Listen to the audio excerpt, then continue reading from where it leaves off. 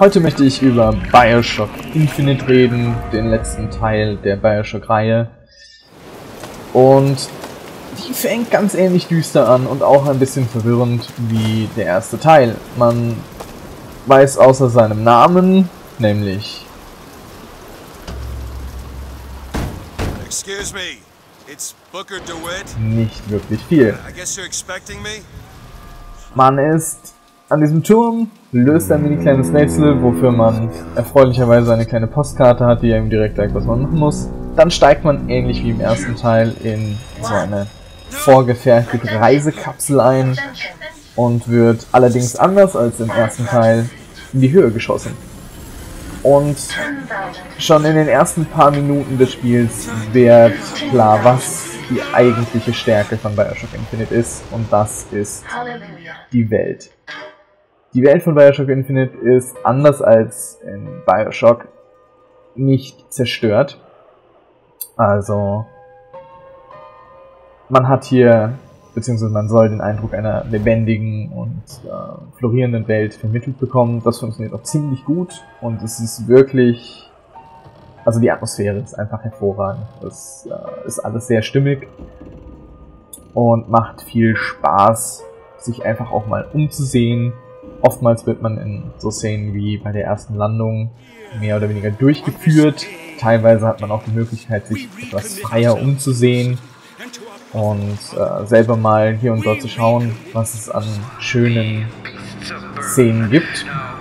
Das zieht sich durchs ganze Spiel durch, also nicht nur am Anfang, sondern auch später immer wieder kommen, kommen Stellen, bei denen man einfach hinschaut und begeistert ist von dem, was man zu sehen bekommt. Bisschen problematisch und man, ich habe es extra nicht rausgeschnitten am Anfang. Es gibt FPS-Probleme immer noch. Ähm, Gerade Nvidia-Karten tun sich da etwas schwierig und das sind sehr zufällige FPS-Probleme, die nicht unbedingt mit der Hardware zusammenhängen, sondern das sind Treiber- und Kompatibilitätsprobleme, die immer mehr behoben worden sind. Selbst als es später düster wird im Spiel, ist es immer noch sehr schön. Da verwundern auch liebevolle Details wie dieser Kolibri nicht.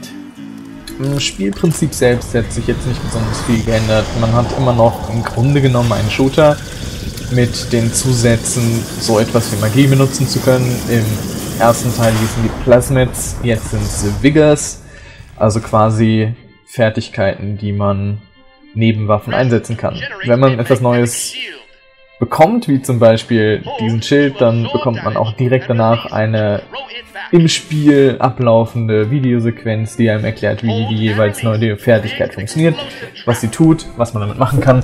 Ich persönlich habe sie im Kampf herzlich wenig eingesetzt, aber das ist sicherlich nicht die Schuld des Spiels, sondern eher mein Problem. Die eigentliche erste Konfrontation mit den Vigors ist auf diesem Jahrmarkt ganz am Anfang, wo man den Teufel austreiben soll, indem man Feuer auf ihn schmeißt. Etwas seltsam, ist ja nun das Element des Teufels, aber gut. Am selben Jahrmarkt gibt es dann auch direkt eine Tutorialeinlage zum Schießen, für den Fall, dass man vergessen hat, wie man in einem Shooter schießt. Ich bin jetzt nicht unbedingt gut, also bitte kein Beispiel an mir nehmen, aber ich fand es eigentlich ganz nett, es ist mal eine andere Version von Tutorialen. Um den Charakter weiter zu individualisieren, den man hat, gibt es diese Gegenstände, die man überall in der Welt findet und die einem bestimmte Fertigkeiten verleihen. Die geben tatsächlich ein bisschen Freiheit im Spiel. Außerdem kann man noch seine Werte durch solche Fläschchen verbessern, die sich auch überall wiederfinden. Stellt sich heraus, dass die Story letztlich darum geht, dass wir Elizabeth, das ist dieser NPC, entführen um unsere eigene Schuld bei jemandem zu gleichen. Wie genau die aussieht, worum es da geht, etc., wird erst sehr, sehr, sehr, sehr, sehr spät auch nur sehr unzureichend und unzulänglich im Spiel erklärt. Und da stolpert Bioshock Infinite so ein bisschen darüber, eine unglaublich tolle Botschaft haben zu wollen, was meiner Meinung nach zu aufgesetzt und zu konstruiert wird. Als NPC hilft sie sehr hervorragend. Sie kann Risse in alternative Realitäten öffnen und zum Beispiel diesen Patrioten beschwören, der mit uns kämpft. An einem späteren Punkt, den wir gleich sehen werden, beschwört sie einen Riss in eine alternative Realität, wo wir auch durchgehen und dann verändert sich tatsächlich alles.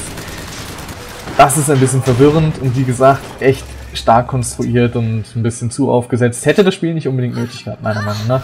Besonders verwirrend wird es dann, als es um den Geist ihrer verstorbenen Mutter geht, mit dem wir dann auch konfrontiert werden. Auch da wieder Erklärungsrudern, ein bisschen seltsam.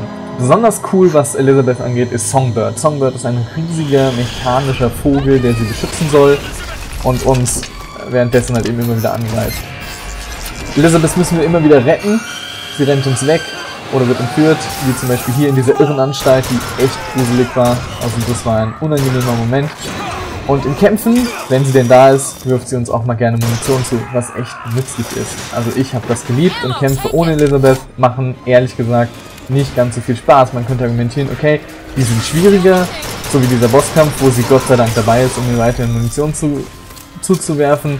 Aber ehrlich gesagt, ständige Wegrennen und im Kreis laufen und rumgehüpfe etc.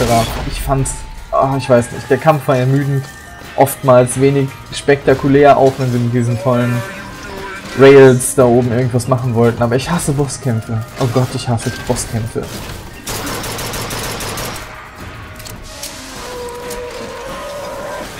Neben Bosskämpfen, die ich absolut nicht leiden kann, gab es noch andere verwirrende Dinge wie äh, die Thematisierung von Rassismus, das zwar zu der Zeit, in der er spielt, in den USA und auch heute noch wirklich ein Problem darstellt und ein Thema ist.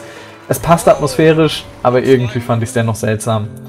Ganz besonders im Rahmen fällt diese Szene, wo wir uns hinsetzen, anfangen Gitarre zu spielen, sie singt und gibt einem Kind einen Apfel. Was zur Hölle? Ich, ich weiß nicht, was es soll. Keine Ahnung. Vielleicht wollten sie der Voice Actor äh, Tante einfach nur eine Stelle geben, wo sie ein bisschen singen konnte. Ich weiß es nicht. Äh, das nächste sind die etwas leblosen NPCs. Also, die NPCs reagieren in keinster Weise auf unsere Anwesenheit. Wir sind einfach nur da. Äh, in dieser Szene, ich weiß, es ist Absicht und die Bewegungen der Arbeiter sind auf das Takt-Ticken im Hintergrund abgestimmt, aber trotzdem total komisch. Ganz besonders krass sind diese zwei, die die ganze Zeit im Wasser stehen und äh, lachen, aber die Texturen haben nicht, die grinsen nicht mal, nicht, die stehen einfach nur da und lachen. Man könnte mir jetzt vorwerfen, ich suche gezielt nach Dingen. Aber wer mein Dishonored Review gesehen hat, der wird womöglich wissen, dass ich mich wirklich an Kleinigkeiten stören kann. Und so komme ich jetzt zu dem Punkt, der mich am meisten genervt hat im kompletten Spiel, und das ist die Art und Weise, wie dieser Mann versucht, Knöpfe zu drücken. Immer wieder so immer wieder so. Und mit dieser Videoschleife von Knopfdrückerei möchte ich mich verabschieden. Mein Name ist Olli, ich schreibe für creep.de. Vielen Dank fürs Zuschauen, ich hoffe es hat gefallen. Bis zum nächsten Mal. Ciao!